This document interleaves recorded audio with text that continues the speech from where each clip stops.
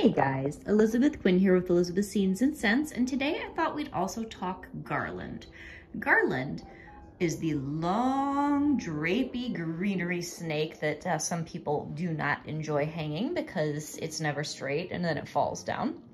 Um, this year in decor trends, I have seen all sorts of amazing, mostly just greens decor uh, drapes all the way down people's tables. Now, I just don't do very well with just plain greenery because I love to embellish.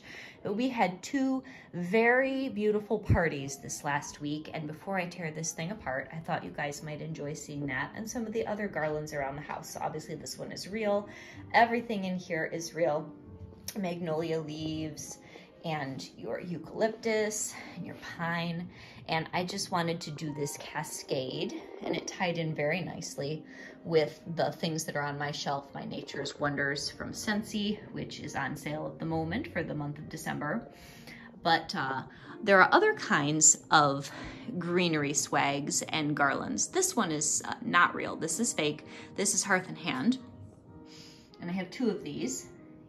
This one just has some little stars and some fairy lights and these darling birds. I love little bird clips. They bring a lot of life to an otherwise just kind of mundane arrangement. And then over here, on top of my hutch, I have the exact same greenery swag. I did add a few more pieces of artificial pine just to fill in some gaps.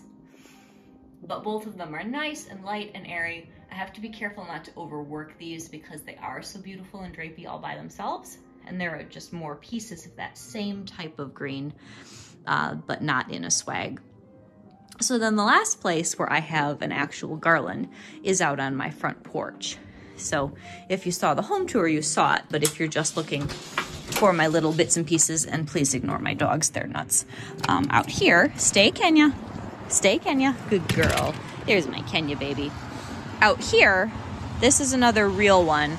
This does have artificial picks, and please excuse the noise. We live on a very busy road.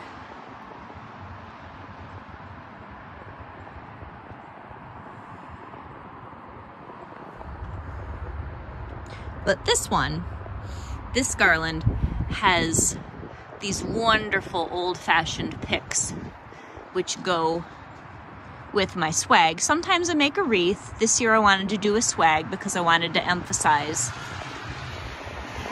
the citrus and I didn't have that many of them and I always do a big bow which uh, hides my cords.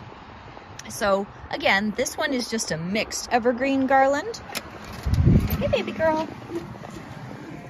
And you guys, oh there's Moosey. I've already seen most of the things in here, including my tree and Ferdinand, my reindeer, but um, evergreen garlands. Don't be intimidated by them. Just put lots of things in them, real or fake, lots of ribbons, lots of pine cones, which aren't in mine this year, but they look fantastic.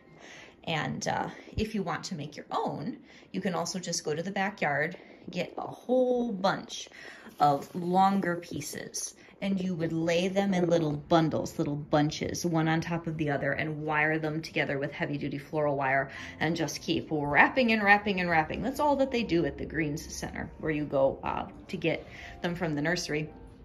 And with a lot of patience and hard work, uh, you can have something beautiful like this too. So have a wonderful day, guys. Elizabeth Scenes and Scents, talking about garlands and greenery, both real and fake. Have a great day. Oh, there's my cute little new deer. Oh, Bye-bye.